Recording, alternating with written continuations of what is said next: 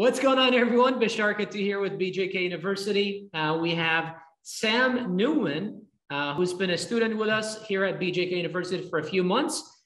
Uh, he's agreed to come today, do an interview, and share with you guys uh, his journey so far, not just as a member of BJK University, but as a member um, of the Amazon platform, as an Amazon seller. So, got a list of questions here we're going to ask him uh, about his uh, successes, his failures you know, uh, share with us some of the things that has worked for him, uh, things that didn't work so much.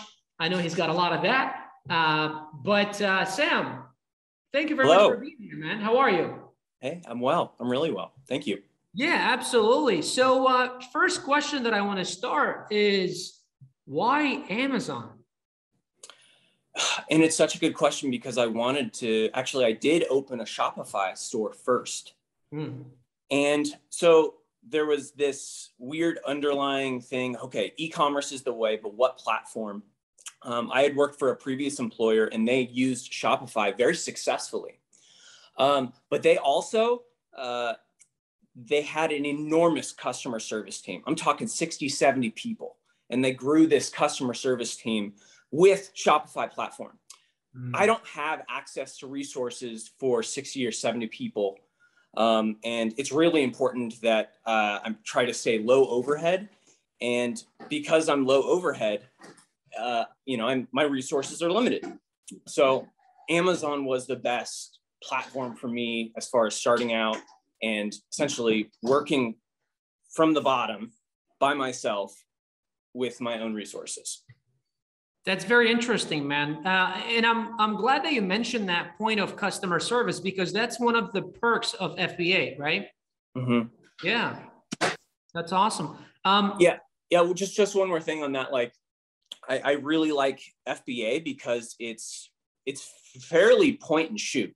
Like there is so many resources, including the Amazon forum on how you can learn things, but BJK kind of laid the groundwork for what's really possible and more of a it was an already pre-established groove on how to do this. And that helped a bunch.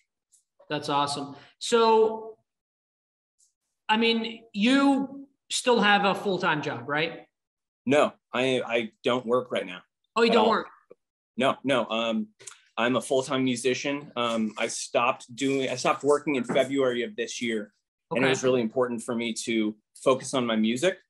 So I figured I'm going to launch this FBA program, uh, focus on my business, be an entrepreneur, and at the same time, invest in my business. Okay. So, and excuse me, I'm gonna. There's some dogs in here. I'm gonna go and uh, go to my room real quick. No worries. But uh, you know, like I don't own properly. I live fairly simply. Um, you know, uh, here we go. Is that better?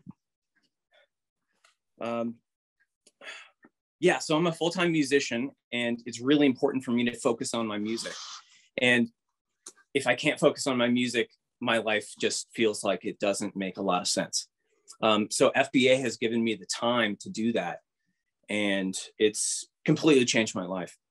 Um, I uh, I was doing product development for an electric bike company in Phoenix and did it for like two years, and I loved it. But I went to work every day, and I also just saw my bosses, people who have used e-commerce to the nth degree and been completely successful. Uh, I just noticed that they weren't ever there. They were doing their own thing. Um, I was like, why can't I do that? Uh-huh. And Amazon was the tool that allowed me to do that, not Shopify. Um, and again, with way less resources.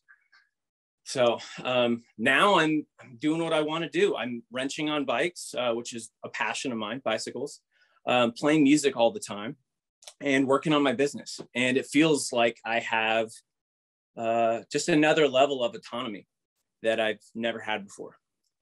Um, and I like that. That's awesome. And now, before we started recording, you said that you hit a milestone today, or the, yeah, yeah, I did. I hit a milestone today. I hit uh, thirty-five thousand in sales. That's awesome. So again, that's revenue. That's not profit, but um, it's just cash flow, and that's really special. Uh, I've never done that before, and it's cool. Like there will be a random Tuesday. I'm like, I just made six hundred fifty. I just made six hundred fifty dollars. Like nice. it's real incredible to just look at that and be like, well, why why didn't I do this sooner? Yeah, uh, it's really cool. That's and awesome. it, it is overwhelming um, all the time, and I'm constantly learning things and getting confused, and then having to try to figure it out, and uh, also be patient. Kind of realizing that the Amazon process, like it's a really a day by day thing, and you're building brick by brick, but it's sustained. That's awesome. So, yeah. Cool, man. Well, let me ask you a question. Um, how many? So obviously, you you're a musician, and then uh, you're an Amazon seller full time. How many hours are you currently putting in uh, per day or per week on your Amazon business? Mm, I'm a little bit more aggressive with my with how much time I put in because um, I have more time. Okay. Um, so you know, I five hours a day. Okay. You know, and and that means like I'm also looking for business insurance right now. Um, I'm also looking how to optimize my tax strategy with the business. So I'm also looking at optimizing my ads every day, my PPC campaigns, um, and also looking at constantly trying to, hey, what's another product that would work in this right. industry that I'm in? Um, I'm trying to stay in a niche industry, and uh, my niche is the bicycle industry. So everybody rides bikes, and whether it's the pandemic or not, uh, pedaling is a real amazing way to uh, get to where you want to go. So I've been a huge, very passionate about bikes, and I I chose a passion project product, and it's not necessarily what you recommended, but it's what I felt and I saw in the industry, just uh, this niche, and why not take advantage of it? What I know. Okay. Um, how how important is it to how important is it to find the right product? Oh, it's critical. Um, I I knew I had the right product when uh, I saw two years ahead, and I was able to understand the volume of what I, of my, of my product and how that is essentially how that was going to affect five or six major manufacturers and I was going to be one of the beneficiaries of essentially of, of investing in this product. Okay. And, and what is the, so far, um, what is the biggest struggle that you have had to face? Uh, biggest struggle. Sure. Um, this is going to sound cliche, but just showing up there's a lot to do. Um, you know, like between the webinars, asking questions. Um, it's a very you you do need an active mind to do this. And gosh, you know, getting on my exer- exercise routine again, it's really helped and makes me think clearer.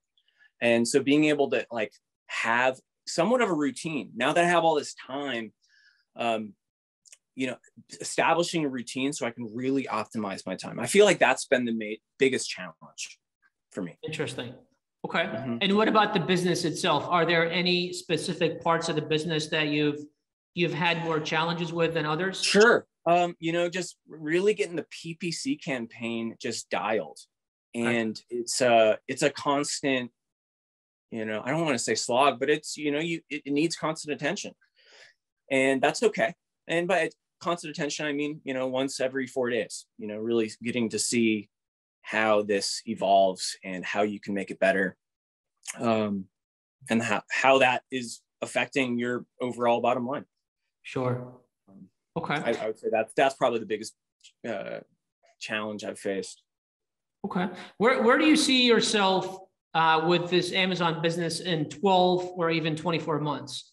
What kind oh, of, you um, know, how many products do you think you're going to have? How much monthly revenue do you think you will mm. uh, be making? Uh, 12 months. Um, so right now I'm doing roughly 8,000 a month. Okay. Um, you know,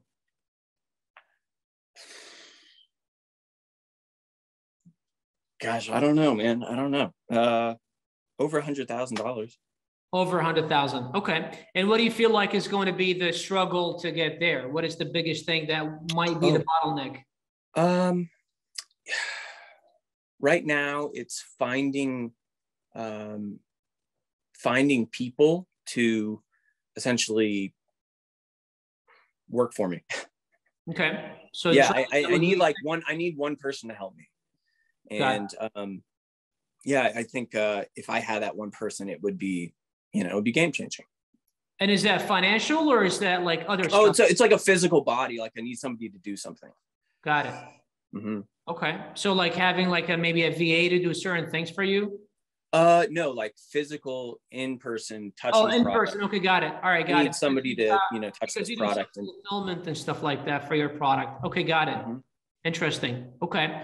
Uh, do you think it'll um, you're gonna um, keep uh, growing within the same niche, or do you see yourself going into other uh, niches and different categories?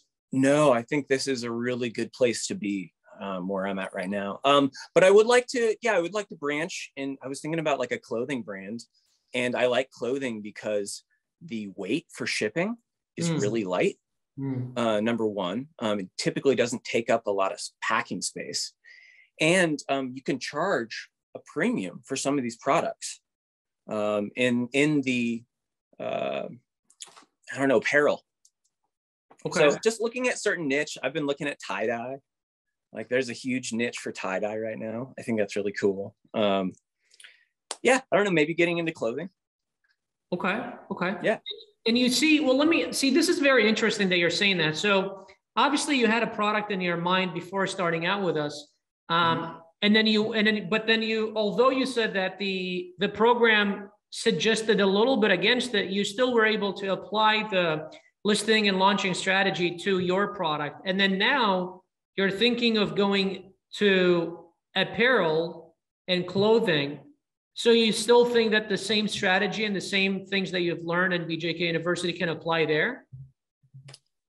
I mean, absolutely. Yeah. Okay. For sure. It, it's just, it, I think you got to find, again, it is, it really does come down to the niche. It comes down to a very specific types, whatever anybody's looking for. And people are looking for millions and millions of things each day that are all different. Um, I think if you find something cool, you find something that you would actually use. Right. I think you would find something um, if if you can find a product that is uh, makes you happy in that weird way, whatever that is. Uh, then I think you found a good product that you can stand behind, and people will also, you know, trust it over time if you really develop this brand in the way that I'm developing my brand. Interesting. You know, just constantly uh, a little bit each day. So, do you think what you've learned is more of a skill that could be applied to anywhere really than uh, strategy? Uh, you know, that's a good question. I don't know. I, I, I don't know. What do you think? I'm a big believer that it is, and the only reason why I say that is because we're so we're looking into selling on Walmart right now, right, and branching out there. Yeah and we're learning the platform, but everything we know in Amazon, we're simply applying in Walmart, and it seems to be working so far. Sure. You know. Sure. Yeah. Um, so that's why I asked. It's because I've had people say yes, I've had people say no, but you know, it's just kind of like however you look at it. You know what I mean? Mm. Yeah. Yeah, I, it's weird. I wouldn't say it's a skill. I would say it's a strategy. Um, and okay. it's, but it's like something you can do and replicate. Right. You know, I think a skill gets better where like a strategy is something that like is just consistently works.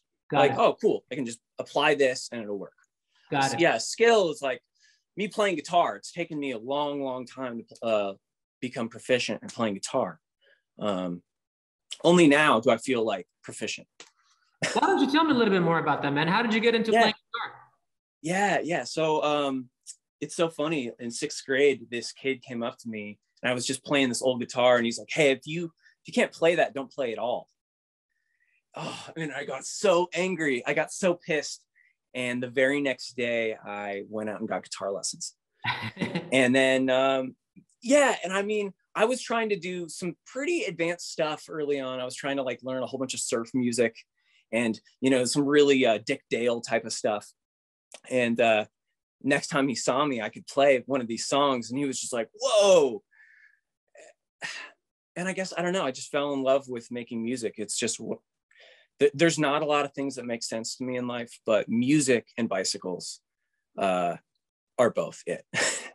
What's your goal with your music? Uh, you know, music yeah.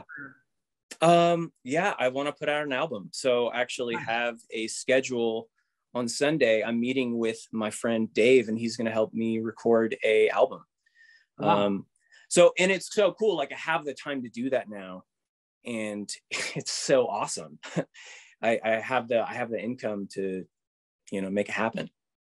Wow, that's great. So you you you obviously you have a passion and then now you're able to actually do something about it because you have this business that is running that you don't have to be there day in day out um, and it allows you the time to do the thing that you you love doing huh well for sure but also i, I always come back to that piece of instagram content you did it was like you know average millionaire has seven streams of income mm-hmm. and i was like well shoot you know if i just get this on uh Spotify, maybe I can get some royalty income.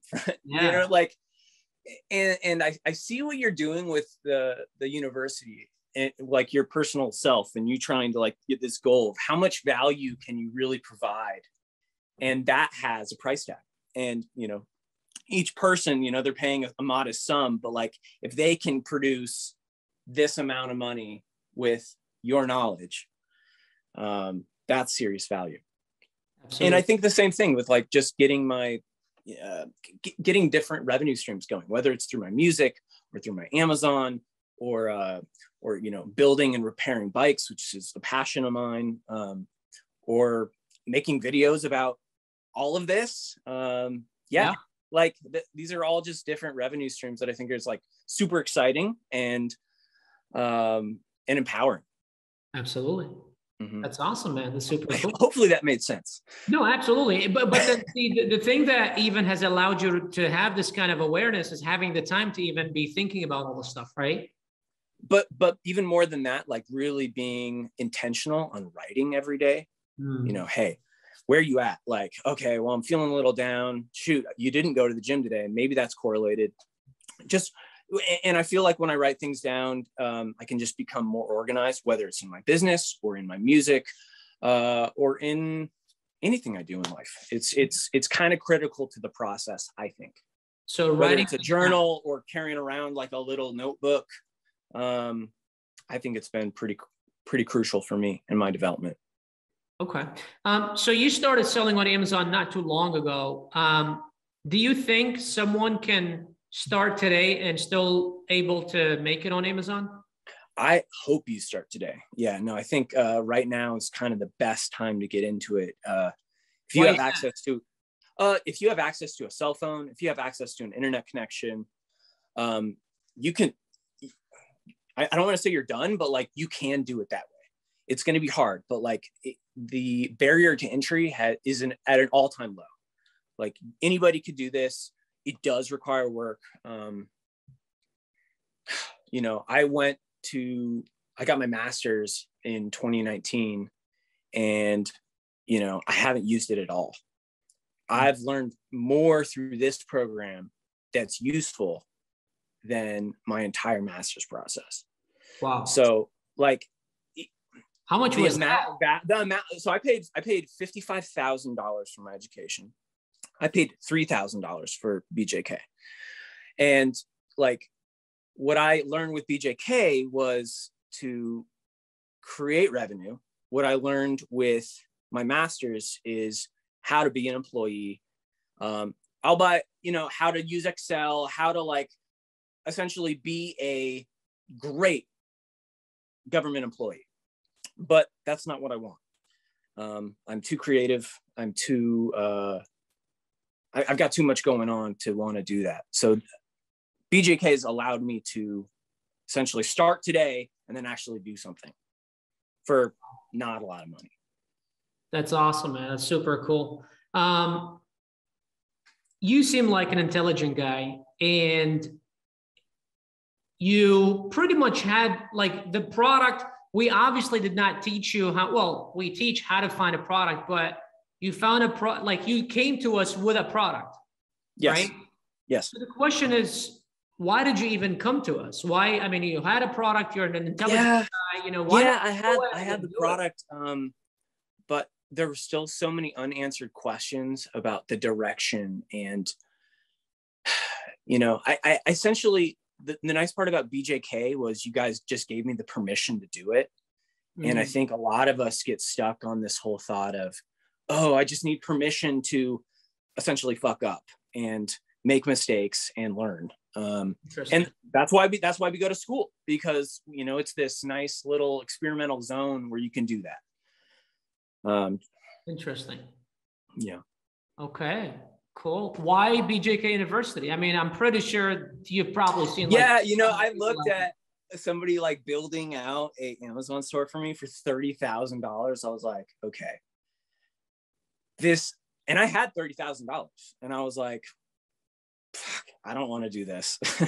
this this sounds like a waste of money. I feel like if you're gonna do this, if you're gonna be an entrepreneur, if you're gonna call yourself that, if you're not gonna work for somebody else, you need to do it.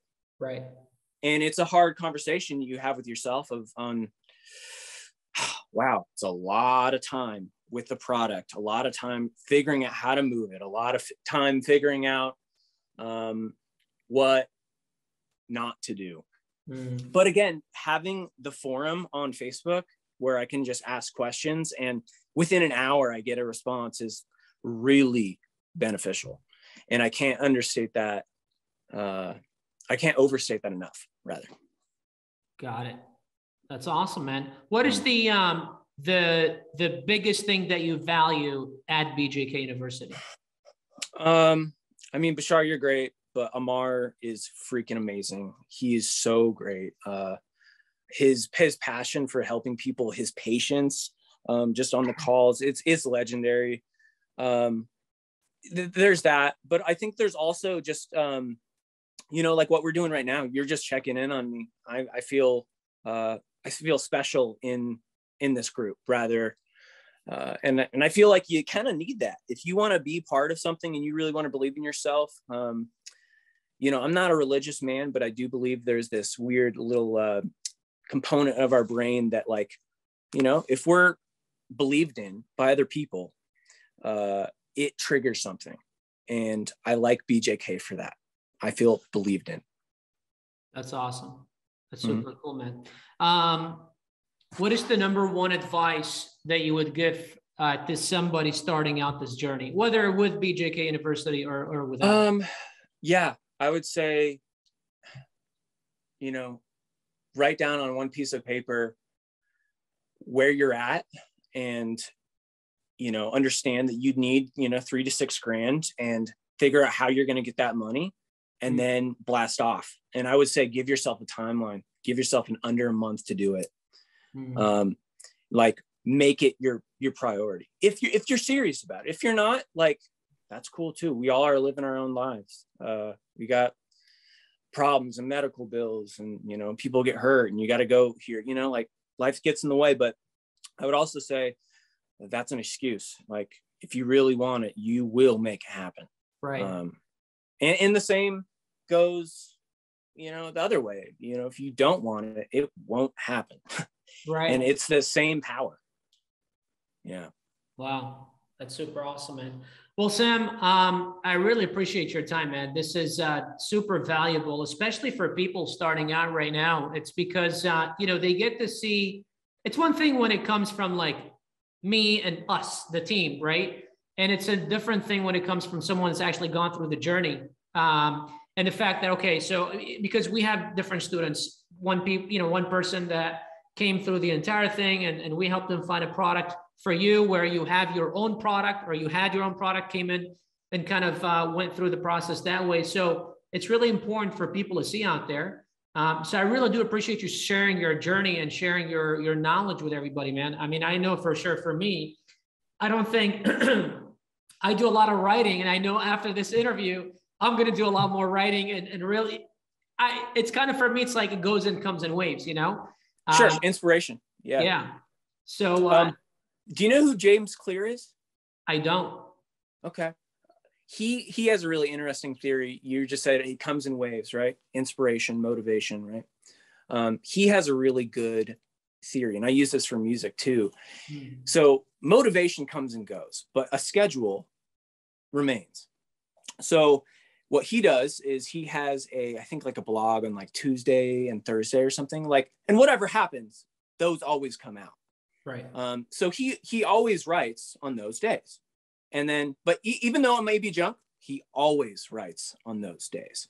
So he doesn't make this um, kind of uh, I don't know exclusion in his mind of oh just because it's junk I'm not going to do it. He always is going to do it. So being consistent with it is I think probably been my my best way to develop not only as a musician but like as a writer or as an entrepreneur just remain just be consistent always get your workout or always get your writing in um yeah i think like having that routine is like it's a game changer and that's what and that's what i'm working on right now so like i, I think if any if everyone can do that uh man we are going to take over the world that's awesome that's super Well, Sam, thank you very much for your time, man. Truly yeah. appreciate this. Uh, super inspiring. I know for sure I've got a few things here that I need to work on myself.